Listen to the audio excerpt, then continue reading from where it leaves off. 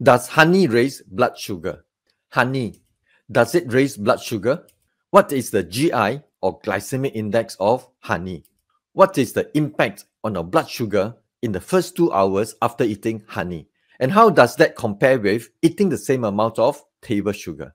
These are the questions that I'm going to tackle in this episode of Know What You Eat.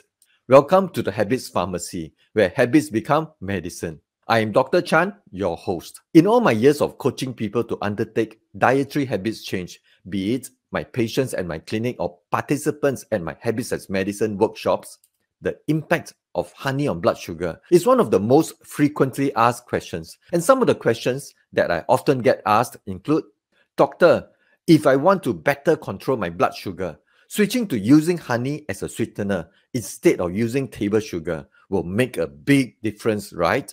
Or, Doctor, I was told by my friends that honey, being a natural sweetener, will not raise blood sugar as much as table sugar. Are they right? Let's do a mini quiz. Choose the answer that best describes the impact of honey on blood sugar. A. Honey is a natural sweetener. Therefore, it will not raise blood sugar. B. Honey is a natural sweetener. It will only raise blood sugar minimally. The impact on our blood sugar levels in the first two hours after eating honey is a lot less than that of table sugar. C. Honey may have more beneficial nutrients than table sugar, but its impact on blood sugar is similar to that of table sugar, albeit a little lesser. Which of these statements do you think most accurately reflects the impact of eating honey on our blood sugar levels? Is it A, B, or C?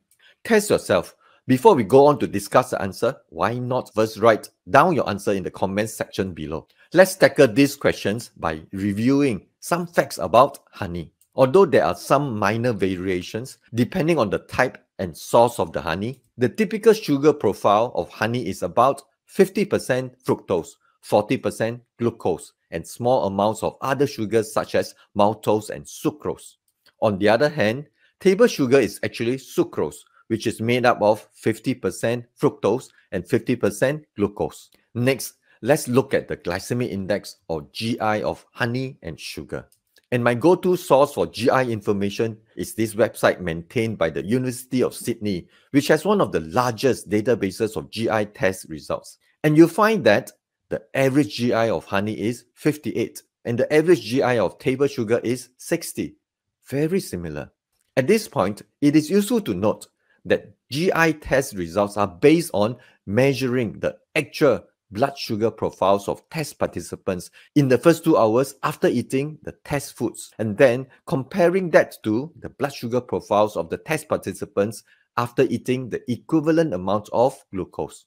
To put it very, very simply, almost at the risk of oversimplification, what this means is that the profile of blood glucose spikes in the first two hours after eating honey is about 58% that of eating the equivalent amount of glucose. And that the profile of the blood glucose spikes in the first two hours after eating table sugar is about 60% that of eating the equivalent amount of glucose.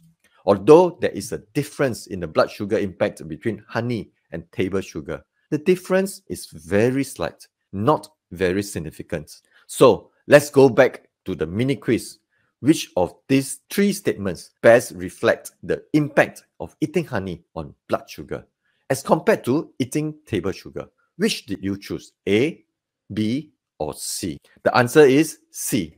That although honey may have more beneficial nutrients than table sugar, its impact on blood sugar is similar to that of table sugar, albeit a little lesser. I hope you have found this short video, this episode of Know What You Eat useful. Let habits be thy medicine. I'm Dr. Chan. Eat well and be well.